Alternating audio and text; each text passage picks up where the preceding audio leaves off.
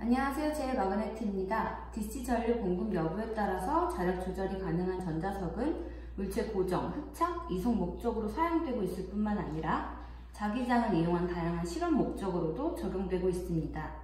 폭로품은 기성규격으로 구성되어 있으며 적용되는 목적에 따라서 맞춤 제작이 가능한데요.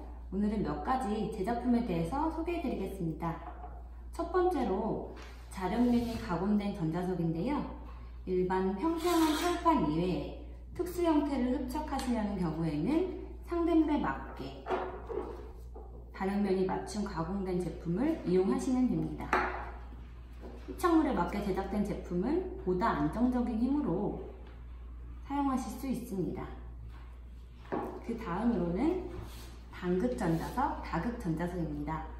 NS극이 같이 발휘하는 기성품 이외에 한 가지 극성이 발휘하는 단극 타입, 여러 개의 극성이 번갈아 가면서 나타나는 다극 타입으로 제작이 가능한데요.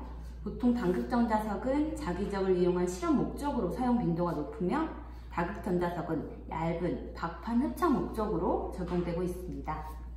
마지막으로 고온용 전자석인데요. 흡착물이 가열된 상태 또는 장시간 전자석을 작동시켜야 하는 경우에는 보온용 제품을 사용해 주시면 됩니다.